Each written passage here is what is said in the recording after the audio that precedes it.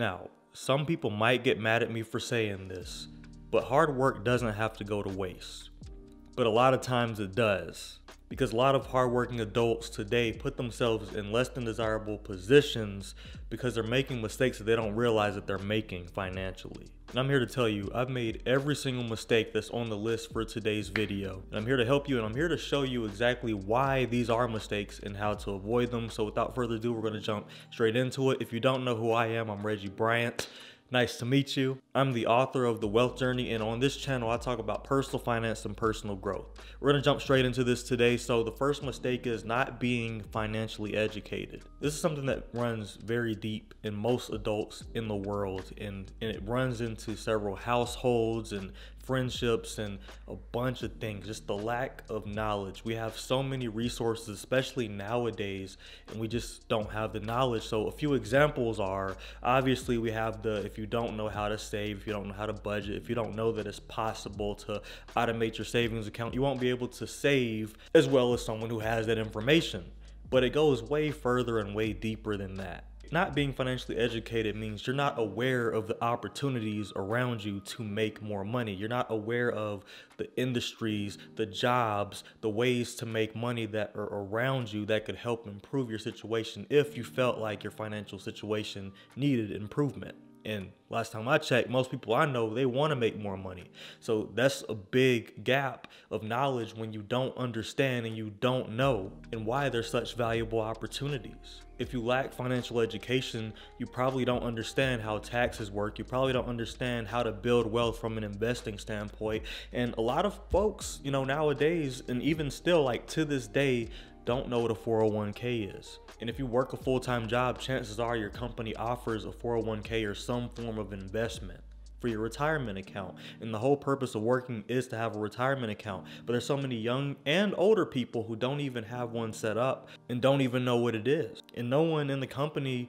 seems to really be going out of their way to be like, hey, this is what a 401k is. This will get you to retirement. If you don't have one, these are the risks you run into. And the big risk that you run into is not being able to retire. So you work all these years, hard work. You know what I'm saying? You're putting in that hard work for all these years, and you can't even retire at the end of it. And you still have to work beyond your 60s, beyond your 70s. Life is meant for much more than this. And just sitting down for a few minutes, for a few hours throughout like a month, like you will learn what you need to know about 401ks, about Roth IRAs, and you can learn about tax advantages for both of them. And you can learn how compound interest works and how you can actually make more money on the money that's being invested. And you can learn that, hey, actually, if I put a certain amount of money into this investment, my company will personally match it and throw me some free money. And a lot of people just don't know that, so they miss out. And I'll never forget me being a passionate person about personal finance and about investing and understanding the power behind investing.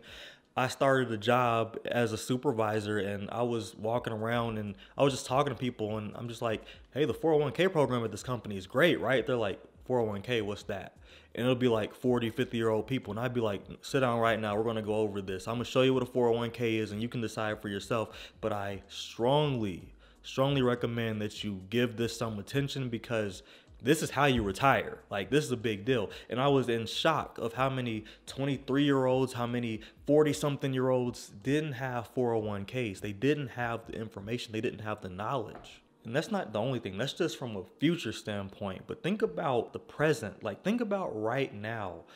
So many folks are out here struggling with money because of the fact that they don't understand what the cost of living is and how much money they should be spending on their living expenses compared to how much money they make per year there's just an overall lack of understanding and that's something that you really want to avoid especially as a hardworking adult. You work hard for your money. You're probably making good money. You're probably doing something very important that's very useful to society and that's awesome but you don't want to do all that work in vain. I promise you you don't.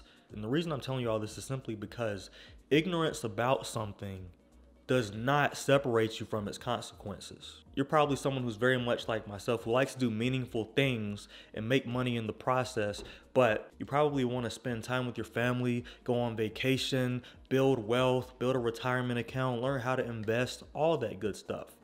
You want to get your money together, you want to stack up your money, you want to get to a place where maybe no one in your family's ever gotten to financially and you want to be that first one. You want to be that example. You want to be someone who is able to provide and have financial security and have financial freedom and do the things that you've always wanted to do without having to worry about your finances going by the wayside. And so, in order to do that, you've got to educate yourself. And a book I would recommend to anyone about finances in general is a book called Money Master the Game. It'll show you how anyone can become a millionaire. I mean, most of us thousandaires, you know what I'm talking about. But when you learn how to properly use your money and how to properly think about money, thousands turn into millions. It might take a while, but who cares? It's better to get there than to not get there, in my opinion. Especially if you have big, big, lofty goals like myself. Speaking of goals, the second thing on the list is not having a clear plan. And this actually runs hand in hand with something else. So this is technically a two in one, but I'm gonna start with not having a plan. We all have goals and there's no doubt about that. You probably want to buy a house, you might wanna buy a dream car, you might want to make a certain amount of money, let's say six figures, 100,000, 120,000, 150,000. You wanna make money because you do hard work, you do meaningful work, you do smart work even but you have to have a clear plan to get there. And one of the biggest mistakes that people have had is not having a plan to get there. And I'll never forget when I was 21, everyone in their mind was asking me, So, what's your five year plan? And I was like, What's that? You know, like, you know, your five year plan. What, what do you plan on doing for the next five years? I mean, sure, you've gotten here, you've landed a great full time job fresh out of college, but from here, what's your plan?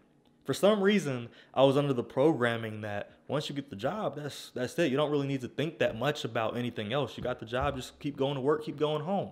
But times are different now. Like it encouraged me to think about upward mobility and it encouraged me to think about my personal finances. And it's like, well, I'm making money now, so I'm not really used to doing that. So what do I do with my money? Like, what do I do with it? It's meant to be spent, but at the same time, I don't want to go without it. Like, what if something happens? Sure, I can buy things that I've never been able to buy that I've always wanted to get, but now I have to actually be responsible with my money so I can still pay my bills and have some money left over at the end of every month. So, what do I need to do with my money? I didn't really have a clear plan for my personal finances, for my career, or really for myself. All I was really concerned about was I'm happy. I'm successful. I'm making all this money now. I just got my own first place. I got my car. You know what I'm saying? The car is paid off. I was on cloud nine. I was in such a state of euphoria that I really didn't consider that I should probably be planning for my future. And what that put me into was a place of not being sure. Now, of course, once I got all this feedback and I started really thinking about it and I actually looked up what a five year plan was, how to properly put together a five year plan, in a hurry, I made a five year plan. But before I did that, work had already started. I was already learning and trying to, you know, save the world at work and everything in my first ever management role. And I was just like, wow, this is a lot. This is really overwhelming. This is really challenging. And of course, I learned that the company I worked for at the time was extremely cutthroat. I was like, man, this is kind of scary, low key. What am I going to do about this? I even started to self doubt a little bit. I was like, who am I to think that I can go anywhere in this company? This is like really tough work. I don't understand how these people have done this for so long. This is crazy. I'm the youngest one in here. I'm in charge of people twice and triple my age. This this is wild. And so that set me back because I had to learn all that stuff. And that was an extremely tremendous learning curve. It was such a learning curve that when I got home, I was drained. I couldn't do anything else but sleep. Sometimes I didn't even eat. And so imagine doing that while also trying to learn personal finance and trying to learn how to budget and, and where to put your money and how to make extra money on the side. And I was doing all this stuff. I, I'm I'm what you would call an overachiever, but like when it comes to life, you've got to achieve certain things to get to a certain place. And I had big goals because when I finally set out my five year plan, I knew in five years, I want to at least be making double what I'm making right now. I want to be in a higher level role and I still want to have a work life balance. I didn't know how I was going to get to the work life balance part, but I knew that I wanted to make at least double what I was making then, just without the overtime because I had an extreme amount of overtime then. But my work life balance was trash. Like I didn't get to spend time with friends or family and it ruined some relationships. I'm not going to lie to you. Like I've gotten into it with some of my friends because of my lack of availability. But I guess that's just life that happens. But I knew that was one of my goals. I had to have a work life balance into that. Now, fast forward to now, I have all that and more. And it's amazing. And I had to actually do the things that were on my list of plans. But the main reason that it's important to have a five year plan isn't just because you can actually get there by taking those actionable steps that you make for yourself. Because the truth is, I didn't get here by myself. I definitely had mentorship and I had people I looked up to and I asked questions and I was just really hungry. I wanted to get to a certain spot and I, I put the work in to get to where I'm at, but I had like assistance. Like I had help. I had people who were like, hey, don't do it that way, try it this way. And that really changed my mindset, how to think, not just about life or just about my job, but about money as a whole. Because one of my five year plan goals was I want to save like $60,000 by this date and I want to have all my debt paid off by this date. And it was like all supposed to be done by the first year, which was absolutely insane. And I can say it was insane because for the amount of money I was making, I was making that like per year. How am I going to, I would have to save 100% of my income and then come up with like another 30 grand to pay off my student loans. It just, it wasn't going to happen that year. But my mentor told me, he was like, look, man, like you're doing good and I'm proud of you. But just so you know, you will never be wealthy by just saving money. You won't. That's not going to happen. That is a pipe dream. That is a fairy tale. That is not real life. He didn't say it that aggressive, but he said it pretty calm. But I took it as like, man, this is like, I, I never thought about that. So it was kind of like body slamming my brain because I was like, dang, I, I, had it all wrong this whole time, which is fine, right? That's a mistake that I learned from them that I'm able to teach you guys on this channel. But that's an example of how my mindset changed about a lot of things and a lot of things that changes about work as well. We can talk about that in a different video, but I would say the biggest mindset shift that I had, and this is where the two in one piece of it comes in. I realized that when you have a plan, you're more dedicated to it and you're more strict about it. At least I am. And when it's written in paper and you know how close you are to your goal based off of what you set for yourself and you know what you're striving for every single day, you have a little bit more resilience to BS, if you know what I mean. Like I went through a lot of crap at my first ever job, which is the job I'm still talking about in this video. And there were times where I wanted to just walk out, quit, not come back. But I had to think to myself, like, okay, well, for what? What is that going to do for you? Who is that giving power to? You or them? You're giving power to this company. You're giving power to the people within the company that are pissing you off every day just because they're acting crazy for five minutes out of a 12 hour day. Are you really going to do that to yourself? Are you really going to sacrifice your future to appease some company who doesn't even want you? Because my peers, they didn't even want me they were like, ah, oh, this kid isn't going to last. Like the first day I stepped foot in there, they were like, yeah, we got bets on when you're going to leave. You ain't going to last six months, boy. It was a country place, so they really did say it just like that. I was like, all right, we'll see. We'll see. See, me, I just like proving people wrong. But anyway, I say all that to let you know what came with the adversarial environment was emotional intelligence, mental toughness, and resilience like no one has that I've ever met. Because I went through it every single day for almost two years. Doing something I didn't like every day, doing something that I feared to do every single day, having self doubt while leading a team every single day, and just learning and just improving and getting better and changing my mindset and getting tougher and getting stronger physically, mentally, spiritually every single day. Because if you don't have emotional intelligence, if you don't have that mental toughness, you'll be just like everyone else who gets a good job, gets a really good gig, and then just quits. I understand that there's a point where you can't tolerate certain things anymore, but always have something lined up because I wanted to walk up out of there without anything lined up. And I was told by everybody that I went to about it, which wasn't that many people, but they're like, bruh, don't do that. That's crazy. I understand you're upset. I understand you're frustrated. Line something else up and then, then quit build your experience milk that company for all it's worth go somewhere else and then give them your expertise and give them your best right and that's what i did but i can't tell you how many folks have lost their jobs because they want to throw hands or lost their jobs because they wanted to go spend time with the girl instead of coming to work i can't tell you how many people walked away from a job that was good that they didn't have anything else lined up to do instead because they were stressed out for one day there has to be a certain amount of toughness as an adult you have to take accountability that job didn't force you to work there. You decided to work there. You have to deal with the consequences. And the next tip I want to talk to you about actually has a little to do with what I just said about the emotional intelligence, but this comes from a slightly different mindset. A big mistake that a lot of hardworking adults make is not having financial discipline. Like, I say hardworking adults. So most adults who are hardworking or who have dual income, like husband and wife type of income, you know what I mean? Or they're just working really hard. They went to school, they got degrees, they got certifications, they got a trade, they got something. They have a valuable skill that they can add to this world. No matter what your skill is, you're a valuable person and you have capabilities beyond your wildest beliefs and dreams. And I don't say that to hype you up. I legitimately mean that. And I've seen people who have thought so low of themselves, and I've seen people who had no future for themselves really build themselves up and get to a better place than a lot of my friends who have master's degrees, to be honest with you. And you really do have to believe in yourself. And with self belief comes discipline. And another reason I tell you all that is because you just may not realize your potential yet. And it's hard to realize your potential in a world that is very materialistic, that is very show offy, a world that is very controlled by social media and comparisons and well this person has this how they get all that? How they get that bmw how they get that chain?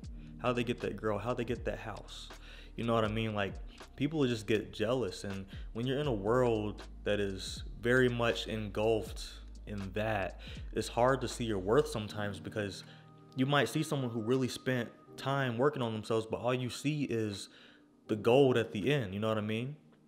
You don't really see all the hardships, all the struggles, all the hard working that you're doing now that they put in. You know what I'm saying? For you don't even know how many years they put in work. You don't know what they went through because no one's really telling you. And that's why I try on this channel to put as much of my hardships and my struggles at the forefront. So you know like i didn't get to a six figure status overnight. I didn't get to understand personal finances overnight. This took years and i'm still learning every single day and i'm still not where i want to be and i'm still not perfect. But as long as you improve every day you'll get there. But i tell you that because it's hard to discipline yourself in this world. And that's why you've got to learn to stay in your own lane and learn to look at yourself in the mirror and only compare yourself to yourself. That's where financial discipline comes from. That is a fundamental piece of personal finances. That's where saving money comes from. That's where investing comes from. That's where everything that you're building your money on and building your generational wealth from and building up your family from and being able to put food on the table and being able to have lights on and have entertainment and stuff and being able to have fun on the weekends. That's where all that comes from. If you don't have have discipline, you have nothing because you may have fun now. You may have a nice place now. You may be relaxing right now. But the moment something goes wrong, if you don't have financial discipline, you will fall apart and so will everything that you own because you'll have to sell it to someone who does have the money. You get what I'm saying? And I'm not saying this to scare you. I'm not saying this to be negative. I'm saying this because it is real and it is a fact. Look at 2020. Everybody thought life was good. Everybody thought it was butterflies, rainbows, ice cream cones. They thought it was sweet. But life is unpredictable and we don't know what's going to happen. So you can't walk around thinking everything's going to be okay all the time because that's not real life. And my introduction to the real world was a harsh one. It was an introduction that said, nobody don't care about you. You're just a young kid out of college. No one cares if you lose your job tomorrow. They got they care about their families and, and what they got. They care about their own. They don't care about you. They don't care about your success. They don't care about how sad your life is now. They don't care about how much you hate your job. It's a dog eat dog world out there. And that taught me a very good skill. And that skill is the mindset of maturity. That skill is having discipline to not give a crap about what's going on outside of you, to not give a crap about what this person has to say about you, or you know be in your head about stuff you have to build that maturity you have to be like well that sucks. I'm it's just it's basically being in the matrix and taking the red pill and being like oh man this is how it is this is reality. Because i could have believed that all the people smiling in my face were trustworthy. I could have believed that the company cared about me and my well-being but if but the red pill said hey if this company truly cared about your well being, then why in the F are they working you seven days a week 12 hour days for six days, eight hours on the seventh day. If they truly cared about your well being, they don't care about your well being. They care about what you can do for the company at the expense of your health, at the expense of your mental health, at the expense of your endurance, at the expense of your hunger, at the expense of your hopes and dreams. Because what hopes and dreams could you possibly be working on after a 12 hour shift? Six days a week. And then on the eighth day, they cut you a little break so you can work for eight hours. Huh?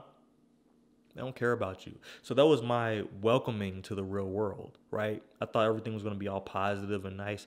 And for some people, it is. Some people land really great jobs with great companies that care about them. But I'm telling you, because I had such a bad experience fresh out of college, fresh into the real world by myself on my own, away from my family in a different city, I'm telling you, that's what has made me disciplined financially because I understood all I've got is myself. All I've got is my own tact and my own emotional intelligence and my own strategizing when it comes to personal finance. So if I can do anything, I'm going to be financially responsible. I messed up at first by getting a townhouse that was more expensive than what I should have been paying for.